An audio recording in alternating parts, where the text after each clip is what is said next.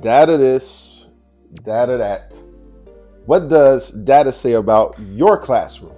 Last time I checked, I was teaching human beings and not startup companies in Silicon Valley.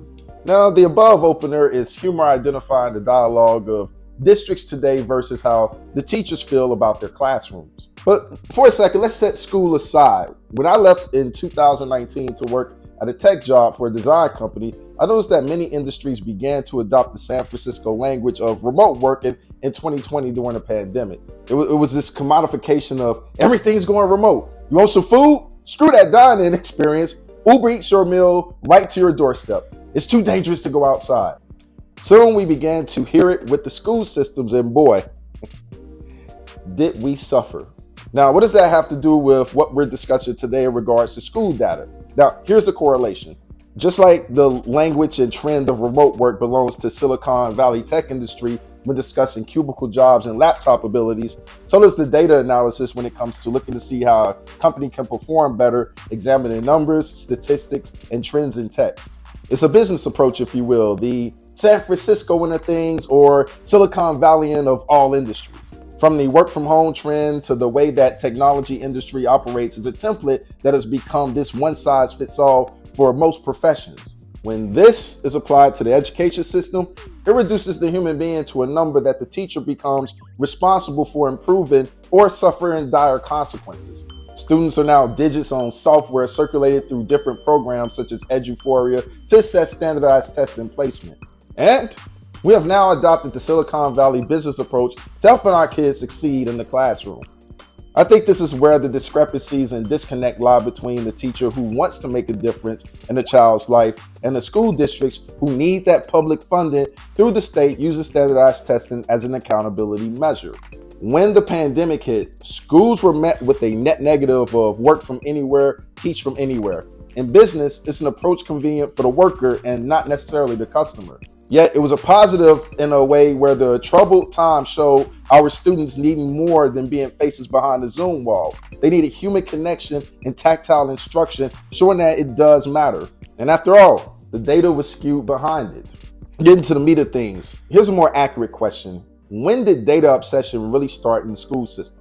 Let me share my anecdotal experience with you. During my 2014 year with middle school students, that's when I was introduced to a data first approach within the classroom. There would be these meetings where we would have kids' name on the wall on these little index cards and what their scores were from interim testing and last year's state standards or how we would raise those scores over the years. At times, it truly felt like I was in some boardroom meeting breaking down numbers for the performance of a company. And in a way, those students were their own little companies that were either bringing revenue to the campus or subtracting away from it. you know, it's funny because it's too bad we didn't look at it from a sports standpoint where we got to decide, hey, little Timmy isn't performing well in the post. We need to trade him to another school, especially if little Timmy was a behavior issue. But, you know, wishful thinking. My experience reflects what I would hear from most current and former teachers' feelings with testing and data.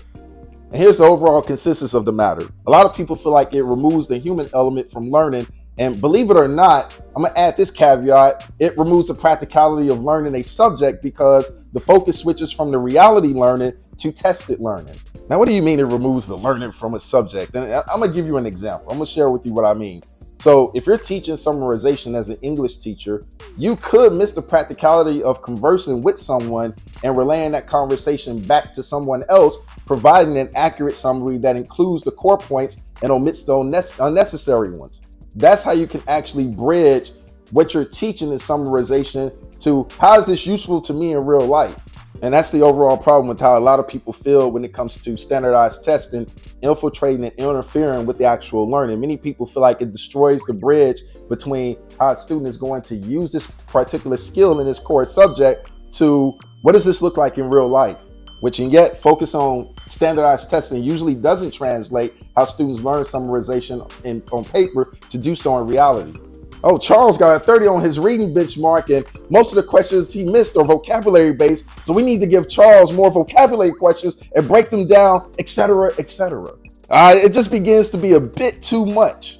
Now, of course, standards alignments will differ state to state, but what all states share is converting the human student to a number because, you know, data. When I think about breaking down data, I switch to a technologist mode.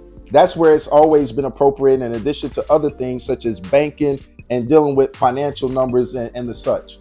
Even when you think about this YouTube channel, the conundrum is almost similar to this first problem in teaching because you were still making videos for human beings and not the algorithm, which is easy to get caught up in in the latter and ignore the former. You're looking to see who's watching your videos, where they're coming from, the age group, how long somebody is watching. Now, looking at these things can help you become a better YouTuber, but again, just like with education, you do not want to forget the elements that appeal to human beings. Then that is simply making a video that people want to watch, creating a title and thumbnail that teases the curiosity gap and tickles a person's, for better or worse, emotions. Yet and still, the algorithm can't be ignored. And if you want a shortcut when it comes to the data regarding YouTube and you're a beginner, then TubeBuddy can help you out with that. Instead of randomly making videos and just throwing spaghetti at a wall if you're a beginner, you can research the keywords with the most search volume and immediately create videos that people want to watch without wasting a lot of time. Now, TubeBuddy is going to help you reduce that learning curve so you can make the best video possible for your viewers by knowing off the jump who your audience is without all the trial and error. I'll place a discount link in the pinned comment below for you to check it out. Again, you have to understand that campuses are under a lot of pressure from the state and then from a federal level for them to perform at the highest tier. And as long as standardized testing is used as an accountability measure, data obsession is going to be necessary. You, my fine, humble teacher friend, may feel that data converts education into a business, but the truth of the matter is, anytime money is involved, such as federal funding, you can't take the business aspect out of education. I, am sorry, it's a sad reality, but it is what it is. And I learned this the hard way through my rookie year experience and talking to administrators about how education operates from a monetary standpoint over the years. In defensive student stats, it's not always about what's going into a desktop device. Data can merely be me asking a student about uh, a question in real time, and depending on how they answer it, will communicate what type of help they may need in the classroom. Now, while that still is a legitimate data point, it's one that requires my involvement closely to ensure the students get the understanding they need and not from afar with teachers checking off some branch in mind's to-do list.